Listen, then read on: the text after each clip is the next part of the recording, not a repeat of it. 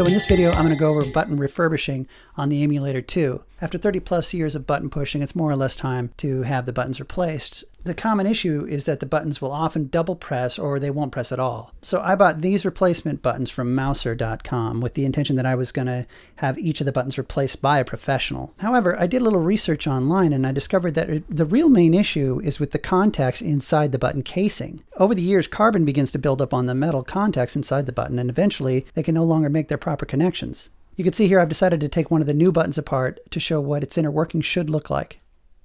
Inside each button there's a metal touch plate and two contact posts. You can see everything in this one is shiny and new. There's the touch plate and there are the two contact posts. I decided that instead of having a professional remove each button and replace them with these new buttons, that I was going to just replace the metal touch plates on each of the old buttons, harvesting the parts from the new ones that I'd purchased. First, of course, I disconnected the power. Then I began by removing one of the button covers. After removing the old touch plate, you can see how much buildup has accumulated over the years on the metal contact posts.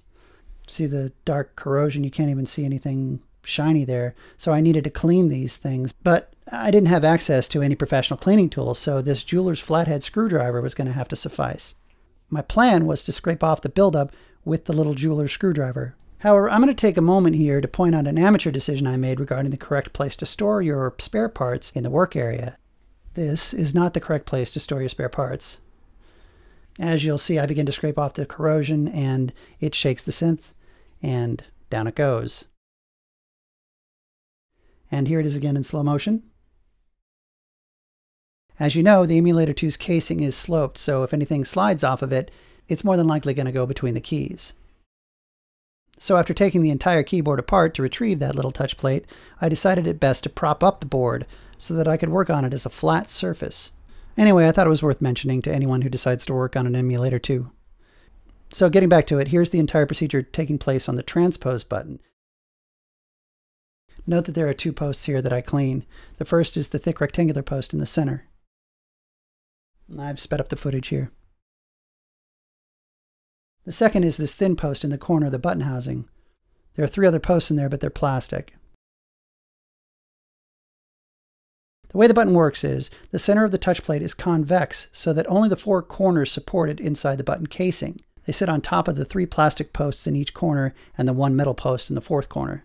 But the convex shape of it keeps it from touching the thick rectangular post in the center. Then when the button is depressed, it flattens the touch plate, creating a connection between the thin metal corner post and the thick middle rectangular post.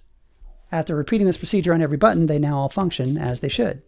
This really wasn't a difficult task at all. It didn't take very long to accomplish. The procedure was fairly quick, uh, the buttons were not expensive from Mouser, and I got everything to working as it should.